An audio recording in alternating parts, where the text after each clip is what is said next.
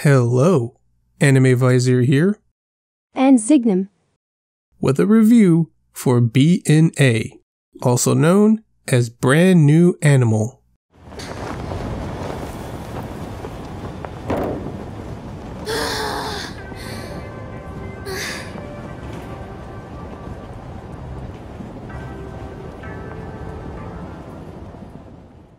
BNA is another anime by Trigger which, full disclosure, I do back on Patreon. It's directed by Yo Yoshinari, who also directed Little Witch Academia.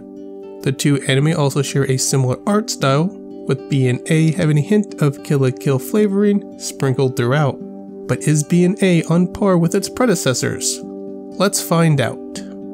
BNA takes place in a world where humans are at odds with beastmen, a species able to transform into animal like people because of the conflict between humans and beastmen, the beastmen were forced into hiding. However, Anima City is a safe haven for those oppressed individuals, where they can live free from human interference. One day, a human girl named Michiru suddenly turns into a tanuki. Stuck in her beast form, she goes to Anima City, but soon finds out that it's a far cry from paradise. So, how does it compare to Little Witch Academia and other Trigger anime? Hmm. It's not bad, but I wouldn't call it all that outstanding either. The first half is fairly episodic, and the story, the themes, and the characters' directions aren't very clear or focused. For example, it touches on a lot of themes dealing with racism, religion, or class division between the wealthy and poor, but never really focuses on them. They're just sort of there, making them kind of feel shallow in the anime, Maybe it would have helped if it just chose and stuck with one of those themes. The anime would have had a voice and said something about that particular theme, but because it tries to cover multiple themes, the voices become indistinct and it's hard to hear what the anime is trying to say. I kinda slipped into a metaphor there, so hopefully that made sense that there are too many competing themes, and had it just chose one, it would have delivered a stronger message to the viewer. What about the characters? Well, outside of Michiru, Shiro, and Nazuna, there's not much to say. There's a few episodes that introduce a side or supporting character, and then BNA proceeds to not do much with them. Those characters get a whole episode for an introduction, but then aren't all that important. And that's time I think it could have spent better focusing on Michiru, Shiro, and Nazuna, because those three are the main focus by about halfway through. Specifically, I think it could have shown more juxtaposition between Michiru and Nazuna sooner to better set up that character dynamic and focus on that stuff more. Because the relationship ends up being a big focus in the anime, but it just sort of happens and had they set Nazuna's character up sooner in the beginning of the anime, it would have had better focus and a direction it wanted to go instead of meandering about during the first half. Now that doesn't fix Michiru's problem of conveniently showing up at the point of action every single time.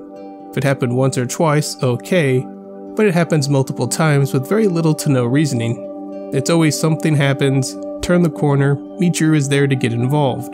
And it's just too convenient for my liking that she's there every time to move the plot along. And what about Shiro? He's alright.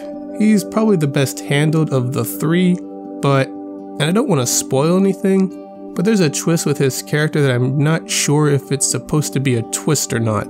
Like it seems like it would be a twist, but it telegraphs it so early on that it's not much of a surprise when it's actually revealed and it honestly makes me think that BNA should have been a movie instead of a TV series. While I'm sure there are people out there that would prefer BNA to have 24 episodes instead of 12 to help expand on the story, themes, and characters, however, if you did that, you'd probably get more episodic one off episodes like the first half of the anime. You mean filler episodes? Yeah, I guess it is. If BNA was longer, I have a feeling it would just have more filler episodes which may be more distracting and problematic in an anime that with only 12 episodes showed it had a problem finding focus and direction. However, I kinda think BNA would be better if it was shorter. If it was a 2 hour movie and Promare was a 12 episode TV series, it might fix some of the problems in both anime. Promare would have more time for the viewer to get to know the other characters of Gallo's team that the movie completely glosses over, and BNA could be more focused on its story, main characters, and theme. Not missing much by cutting some of the side characters in BNA, So if it told a story that primarily focused on the Michiru, Shiro, and Nazuna relationship, chose only one of the themes between racism, religion, or class division, I think it'd be a stronger, more defined anime. At the very least, Nazuna would get some focus on her character sooner, potentially setting her stuff up with Michiru better, and the twist regarding Shiro would be less telegraphed because there's less time. BNA is certainly not a bad anime. It does have its moments, but feels unfocused with its theme, story, and characters. As I've said, I think it would have worked better as a movie. As a movie, it could have given focus to areas of the TV series that were lacking, given BNA more clarity, and be a little more memorable than it is now. If you're a big fan of Trigger, go ahead and watch it. If you're not, put it on your watch list and get around to it when you can. It's not something you need to rush and watch right away. Instead, it's more something you can watch on a slow Sunday afternoon. That sounds like a good idea to me. With that said, that'll wrap up my thoughts on BNA. What are your thoughts on BNA? Let us know in the comments below. As always, I've been Anime Visor. And I've been SiGNUM. Thanks for watching, and goodbye. Goodbye.